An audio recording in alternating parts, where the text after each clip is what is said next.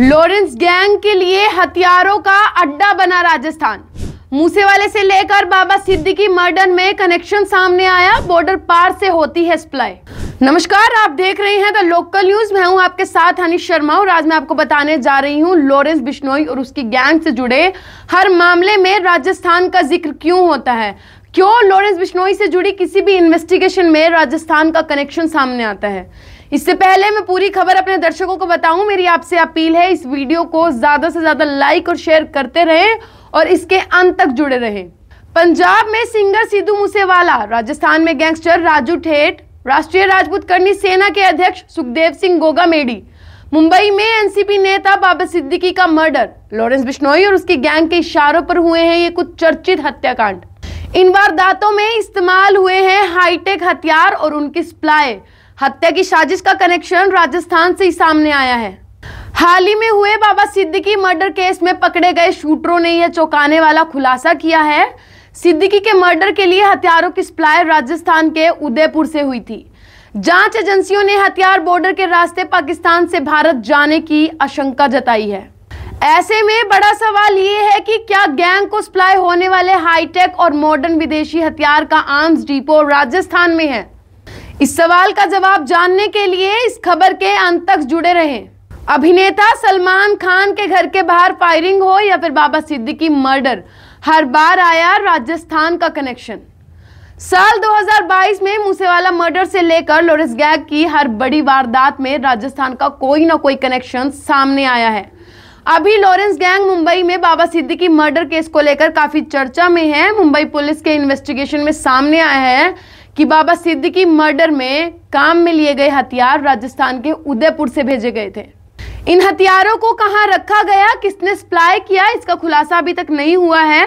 Mumbai police के हत्या चढ़े एक आरोपी। भगवंत सिंह ने खुलासा किया है कि उसने उदयपुर से एक और साथी के साथ ये हथियार मुंबई पहुँचाए थे। हत्याकांड में तीन नहीं, बल्कि चार बंदूकों का इस्तेमाल किया गया था। छह दिन पहले मुंबई पुलिस के हत्या चढ़े आरोपी। भगवंत सिंह ने खुलासा किया है कि हथियार उदयपुर से लाए गए थे। सूत्रों की माने तो मुंबई पुलिस को शक है कि हाईटेक हथियारों की सप्लाई पाकिस्तान से ड्रोन के ज़रिए की जाती है। मुंबई पुलिस का यह सवाल इसलिए भी है क्योंकि हमलावरों की पिस्तौल से चली गोली बुलेट प्रूफ कार के शीशे को भी चीरती हुई निकल गई। ऐसे में बड़ा सवाल यह है कि हाईटेक हथियार कहाँ से आए? नेशनल इन्वेस्टिगेशन एजेंसी एनआईए से लेकर राजस्थान पुलिस की जाँच में भी इसका खुलासा हो चुका है कि लॉरेंस ने राजस्थान में अपनी गैंग का ऐसा नेटवर्क तैयार कर रखा है जो वारदातों में हथियार सप्लाई करती है। ये हथियार बॉर्डर पार से मंगवाए जाते हैं वारदात को अंजाम देने के बाद। इन्हें फिर से उस गैंग के ज़रिए छिपा दिया जाता है। यही कारण है कि पिछले कुछ साल से राजस्थान लॉरेंस और उसकी गैंग के लिए आर्म्स डिपो बना हुआ है। एक बार फिर से आपको बता दें, एनएसपी नेता बाबा सिद्दीकी की मुंबई में 12 अक्टूबर को हत्या कर दी थी। एनआईए ने लॉरेंस गैंग की टेरर फंडिंग केस में अपनी इन्वेस्टिगेशन के बाद 17 मई 2023 को कोर्ट में चार्जशीट पेश की थी। इस रिपोर्ट में पहली बार गैंगस्टर लॉरेंस बिश्नोई और देश विदेश में बैठकर उसकी गैंग को चलाने वाले तेरह बदमाशों को आतंकी माना था। एनआईए की इन्वेस्टिगेशन में यह भी सामने आया था कि खालिस्तानी नेटवर्क से जुड़ने के बाद ही लॉरेंस गैंग को हाईटेक और खतरनाक मॉडर्न हथियार मिलने शुरू हुए थे। साथ ही आपको बता दें, लॉरेंस और बब्बर खालसा इंटरनेशनल के चीफ वधावा सिंह का खास लखविंदर सिंह के साथ पुरानी दोस्ती है। इसी दोस्ती के चलते कनाडा में बैठे गोल्डी बराड़ भी लखविंदर के करीब आ गया। इस नेटवर्क के ज़रिए लॉरेंस गैंग को राजस्थान से भारत पाकिस्तान बॉर्डर से हाईटेक विदेशी हथियार की सप्लाई मिलने लग गई थी। स्पोर्ट के बदले लॉरेंस गैंग ने खालिस्तानी आतंकियों के इशारे पर वारदातें करना शुरू कर दिया था। पंजाब के फरीदकोट में डेरा समर्थन प्रदीप की हत्या, इसी का नतीजा थी। इसके बाद लॉरेंस गैंग ने पंजाब पुलिस के एसआई दिलबाग सिंह को मारने के लिए उनकी गाड़ी में आईईडी बम लगा दिया था। एनआईए की चार्जशीट के मुताबिक लॉरेंस का पेशा मिलिटेंट यानी आतंकी गैंगस्टर का लिखा गया है। ये चार्जशीट 2021 में पेश की गई थी। इसी में सामने आया था कि ड्रग तस्करी और बॉर्डर से हथियारों की होती है सप्लाई। साथ ही एनआईए ने अपनी जाँच में बताया था कि लॉरेंस बिश्नोई, काला जेटडी, राजू बसोड़ी नरेश सेठी और वीरेंद्र प्रताप हेरोइन स्मैक और कोकीन की स्मगलिंग करते हैं। साथ ही पाकिस्तान से ऑपरेट हो रहे खालिस्तानी गुट से ड्रोन के ज़रिए अवैध हाईटेक हथियार मंगवाते हैं। लॉरेंस गैंग के लिए हथियारों का कंसाइनमेंट आने के बाद उसे अलग अलग जगह पे छिपा दिया जाता है। इसके लिए हरियाणा के सोनीपत और मानेसर, गुरुग्राम में काला राणा के घर व राजस्थान सहित अलग अलग स्टेट में दूसरे गैंगस्टर के यहाँ ठिकाने बनाए गए हैं। इसके बाद वहीं से देश भर में गैंग को जहाँ भी वारदात करनी होती है वहाँ हथियार भेज दिए जाते हैं दो साल पहले। एनआईए ने कार्रवाई करते हुए यमुनानगर हरियाणा स्थित काला राणा के घर से बड़ी संख्या में अवैध हथियार जब्त किए थे। एनआईए की इन्वेस्टिगेशन में प्रोटेक्टेड विटनेस ने बताया था कि इन्हीं हथियारों के दम पर लॉरेंस गैंग देश भर में व्यापारियों, ठेकेदारों, डॉक्टर्स और खनिज कारोबारियों को धमकाकर वसूली करते हैं। जो उन्हें वसूली देने से मना कर देता है, उसके घर या फिर उसके ठिकानों पर शूटर्स भेजकर हाईटेक हथियारों से फायरिंग करवाई जाती है। अब बात करते हैं राजू ठेठ मर्डर के बारे में। राजस्थान में फैलाई गैंग से सप्लाई करवाए गए थे हथियार। राजू ठेठ मर्डर के बाद सीकर राजस्थान पुलिस ने जयपुर से हिस्ट्री शीट। शक्ति सिंह को गिरफ़्तार किया था, उसके पास से चार पिस्टल, छह मैगजीन। एक देसी कट्टा, बारह बोर, दोनाली बंदूक और 104 कारतूस बरामद किए गए थे। इसके अलावा भी एनआईए ने राजस्थान में लॉरेंस गैंग के अलग अलग गैंगस्टर्स पर कार्रवाई कर कई हथियार जब्त किए थे। ठेठ मर्डर की चार्जशीट में पुलिस ने ए के के इस्तेमाल का भी ज़िक्र किया था। बताया जाता है कि ये ए के पाकिस्तान से मंगवाई गई थी।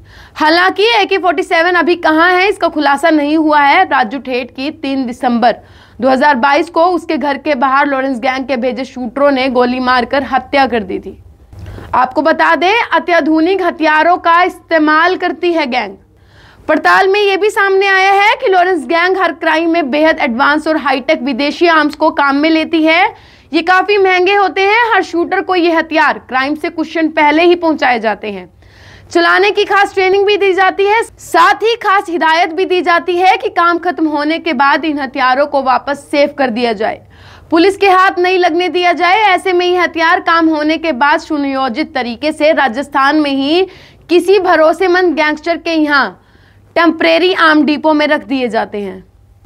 अब बात करते हैं सिद्धू मूसेवाला हत्याकांड के बारे में। राजस्थान में स्टे बॉर्डर से सप्लाई हुई थी असोल्ट राइफल्स जी हाँ एनआईए की इन्वेस्टिगेशन में सामने आया है कि यूपी के बुलंदशहर के रहने वाला शहबाज अंसारी, पाकिस्तान के रहने वाले हवाला कारोबारी फैजी खान के टच में था। दुबई में फैजी खान ने ही शहबाज अंसारी को पाकिस्तान के आर्म सप्लायर हामिद से मिलवाया था। वहाँ हामिद ने शहबाज को बताया कि मूसेवाले के मर्डर में काम में ली जाने वाली असोल्ट राइफल्स और दूसरे हथियार लॉरेंस बिश्नोई की गैंग को पाकिस्तान से सप्लाई किए गए थे। आपको बता दें, उनतीस मई 2022 को लॉरेंस बिश्नोई की गैंग ने पंजाबी सिंगर सिद्धू मूसेवाला की हत्या कर दी थी। शाहबाज ने एनआईए पूछताछ में बताया था कि तब हामिद ने शाहबाज को गोल्डी बराड की एक ऑडियो रिकॉर्डिंग भी सुनाई और बताया कि वो लंबे समय से पाकिस्तान से लॉरेंस गैंग को हथियार भेज रहा है। ये हथियार लॉरेंस को पहले पंजाब बॉर्डर से और बाद में राजस्थान बॉर्डर से सप्लाई किए गए हैं। इसके बाद शहबाज अंसारी, लॉरेंस बिश्नोई गैंग का मुख्य आर्म सप्लायर बन गया। एक और बात आपको बता दें, पाकिस्तानी डोन शहजाद भट्टी एवं फारूक खोकर से लॉरेंस की दोस्ती चार महीने पहले ईद की मुबारकबाद को लेकर लॉरेंस बिश्नोई का पाकिस्तानी डोन शहबाज भट्टी के साथ एक वीडियो काफ़ी वायरल हुआ था। इस वीडियो ने भारतीय जाँच एजेंसियों की नींद उड़ा दी थी। साबरमती जेल में बैठा लॉरेंस पाकिस्तान के बलूचिस्तान के कुख्यात डोन को ईद की बधाई वीडियो कॉल से दे रहा था। शहजाद भट्टी पाकिस्तान में हत्या ज़मीन विवाद हथियारों की तस्करी सहित कई संगीन मामलों में नामजद है। शहजाद भट्टी का network America Canada, Pakistan Dubai सहित अन्य कई देशों में चलता है।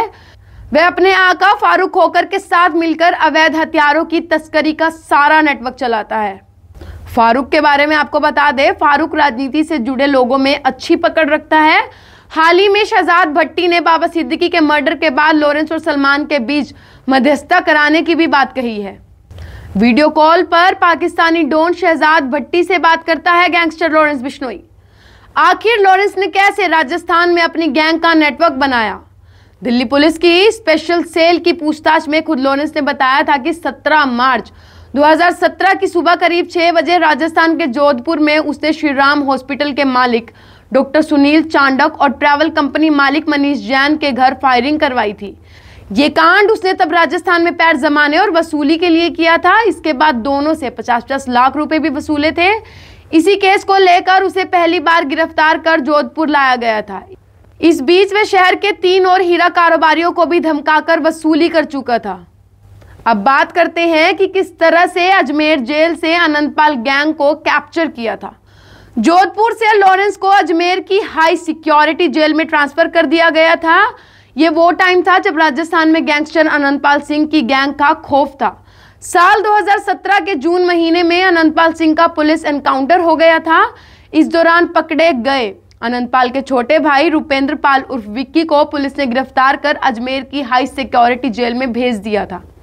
लॉरेंस समझ गया था कि अनंतपाल सिंह के एनकाउंटर और उसके साथियों के एक के बाद एक पकड़े जाने के बाद राजस्थान के क्राइम वर्ल्ड में बड़ा स्पेस तैयार हो गया है। लॉरेंस बिश्नोई ने अनंतपाल के छोटे भाई विक्की से नजदीकी बढ़ाई। विक्की के कहने पर अनंतपाल गैंग के दुश्मन सीकर राजस्थान ज़िले के जुराठड़ा के पूर्व सरपंच सरदार राव को मरवा दिया। यहीं से अनंतपाल गैंग के गुरगौर शूटर भी लॉरेंस के साथ चलते गए। इसके बाद लॉरेंस ने पूरे राजस्थान में अपना नेटवर्क तैयार कर लिया। लॉरेंस बिश्नोई ने पॉपुलर होने के लिए दी थी सलमान खान को धमकी। जी हाँ, जोधपुर के व्यापारी वासुदेव इसरानी मर्डर केस के सिलसिले में लॉरेंस को पेशी पर जोधपुर लाया जाता था। उन दिनों कोर्ट में काला हिरण शिकार मामले में सलमान खान का भी ट्रायल चल रहा था। तब लॉरेंस ने पुलिस के सामने ही बॉलीवुड एक्टर सलमान खान को जान से मारने की धमकी दी थी। दिल्ली पुलिस की स्पेशल सेल के सामने लॉरेंस ने कबूला था कि उसने यह धमकी पॉपुलर होने के लिए दी थी। जयपुर जेल से रची मूसेवाला मर्डर की साजिश। जी हाँ लॉरेंस बिश्नोई ने जयपुर जेल से सीधू मूसेवाला मर्डर की साजिश रची थी। लॉरेंस के इशारे पर 29 मई 2022 को मशहूर पंजाबी सिंगर सिद्धू मूसेवाला की हत्या कर दी गई थी। इस मर्डर की साजिश भी लॉरेंस ने जयपुर जेल से ही रची थी।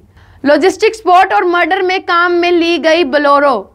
लॉजिस्टिक स्पॉट और मर्डर में काम में ली गई बोलेरो गाड़ी भी राजस्थान से भेजी गई थी। मर्डर के बाद शूटर्स को फरार करवा। विदेश भेजने तक की प्लानिंग भी राजस्थान में हुई थी।